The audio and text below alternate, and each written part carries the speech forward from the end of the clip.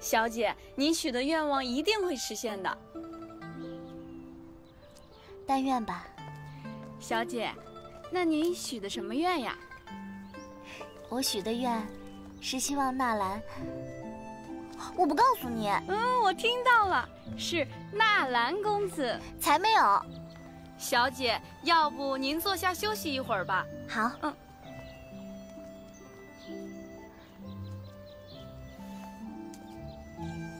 你也坐。嗯。